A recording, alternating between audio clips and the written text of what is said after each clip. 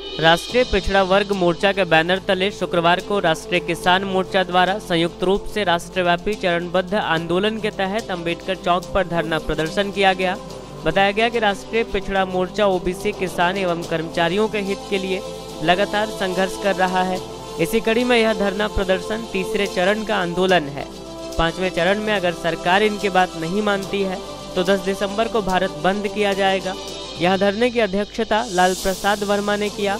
बताया गया कि केंद्र सरकार द्वारा जाति आधारित गिनती एवं ओबीसी की गिनती करने से इनकार करने के विरोध में यह आंदोलन किया जा रहा है। वहीं राष्ट्रीय कृषि कानून एवं इलेक्ट्रॉनिक वोटिंग मशीन के विरोध समेत अन्य मांगों को लेकर इनका अभियान जारी है। इस धरना में सुरेंद्र प्रसाद कुशवाहा, प्रवीण कुमार, प्रदीप पंडित, अर्जुन प्रसाद कुशवाहा, ब्रजलाल प्रसाद वर्मा आदि लोग मौजूद थे।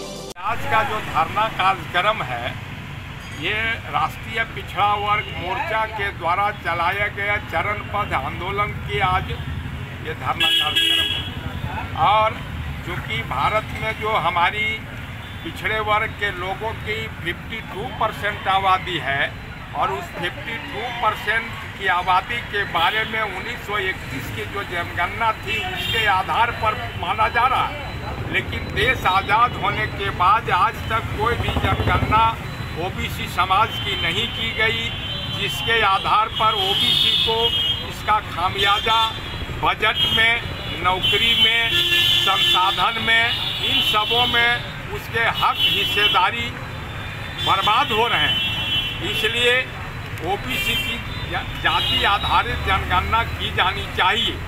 दूसरी बात जो है वो भारत सरकार के द्वारा जो तीन काले कानून किसानों के विरोध में जो बनाए गए हैं, इसे किसानों की ज़मीन का हक जो उन पर है, वो बर्बाद होने का, उसका समाप्त होने का भारी डर है।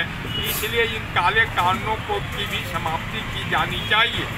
इसके साथ है, निजी क्षेत्र अगर किया जा रहा है, एक तो निजी क्षेत्र नहीं किया जाए, जो हमारे माने फैक्ट्रियाँ हैं, जो हमारे कल कारखाने हैं, सरकारी महकमे के, उसको निजी क्षेत्र में औने पौने दाम में सरकार बेच रही है, जिसका खामियाजा हमारे आरक्षण पर पड़ रहा है। इसलिए इसका बेचना बंद करे। और नहीं तो फिर अगर नहीं बेचना बंद करती है तो निजी क्षेत्रों में भी जो कैरेक्टेरिया है आरक्षण का, रिजर्वेशन का, वो रिजर्वेशन इन निजी क्षेत्रों में भी लागू करे।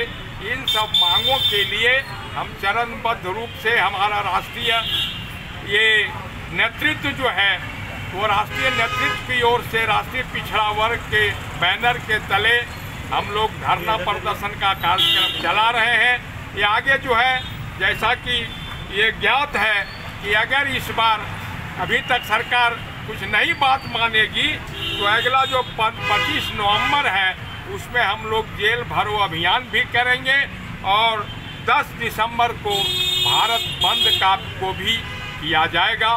इन्हीं बातों के साथ में अपनी बात